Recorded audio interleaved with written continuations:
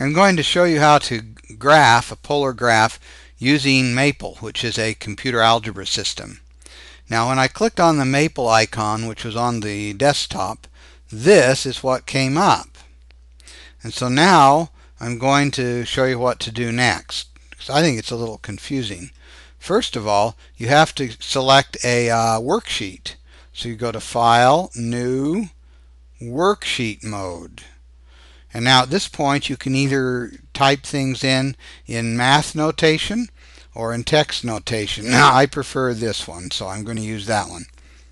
And now what I have to do is I have to type in the correct uh, syntax for it to graph the polar curve.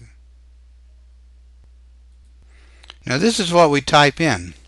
I want to graph the uh, the polar curve r equal to 1 plus 2 sine of 5 theta over 2. Now I'm going to write t instead of theta because I don't know how to write theta in Maple. So then I have 1 plus 2 times sine of this stuff. Now the thing you need to notice is you've got to be sure to put a little star here so that you tell Maple that you want to multiply the 2 by this thing here. If you don't do that, it'll give you an error.